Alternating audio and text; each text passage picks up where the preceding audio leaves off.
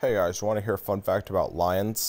Their roar can be heard up to 5 miles away, and they only roar to scare off other male lions or when they're mad. The only reason they would want to scare off male lions is because they don't want them to take over their territory. Thanks for watching and have a nice night.